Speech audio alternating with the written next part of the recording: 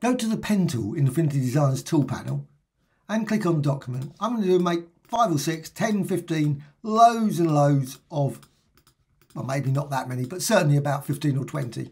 So you can see just a like design like that. Well, it's closed. It's a closed path. I've closed it just at that point. Well, what I can do now is I can go to the node tool. So with the node tool, there's the node tool. So it's node tool. And I can manipulate these. So I can just drag that around. I can go on the path. I can click on the path. I can do it in multiple places. Say there, there, maybe there, and so on.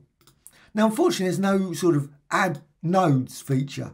Now, that would be brilliant. A really nice little tool in one of these options and just say, look, add 15 or 20 nodes in spaced, obviously, nicely along.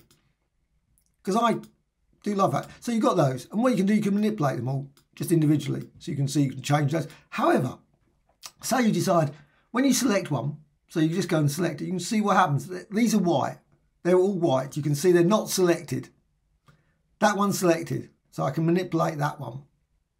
But what I can do, along the control bar, the node, you've got this. You've got an option here for break curve. So I can break that curve. And as, as I do that, now it's separated. I can actually, while that one's selected over there, you can still see it's, it's not selected, but it's unselected, but it's still sort of in a half state of selected. What I can do, I can always drag it back. I can click on there and it will connect very nicely together. You, if you've got a path that's separate, not selected, etc., it looks like it does it, but it doesn't do it. It needs to have that point in that state.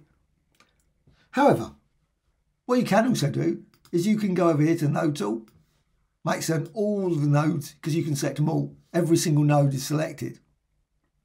And then you can go here. You can just say break curve. So click break curve and you can see now they've all gone white. They've all, and also if you look in the layers, now we've got lots and lots and lots of curves or paths. And each one of those, I can just go on to it, just say, oh, you know what, let's just, and that's got a width profile. So click there, you can see the pressure. I can modify the pressure setting there and tweak it. And I can go onto that one and select that one and move that one and so on. So you can create all kinds of, now obviously if I had like 400 paths, maybe sort of showing an image or something. Now that would be another thing, of course, that I would love to see in Designer would be an image trace feature where it sort of creates uh, lines like this of any design or image or photo. That would be really, really good. And you can see then, of course, what we do afterwards. You could actually just break it all apart.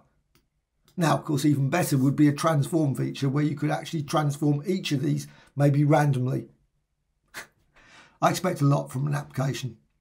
And so you can see, you can create all kinds of quite rough sort of vector-like designs. And of course, once you've got that design, you can again select them all. You can go over here and you can turn around and say, well, actually, I don't want it like that. I can manipulate these. I can change things. I can maybe change the width profile for the whole lot and tweak it. And you can create a whole variety of different designs just by using that. Well, hope you found this of interest. Thank you much.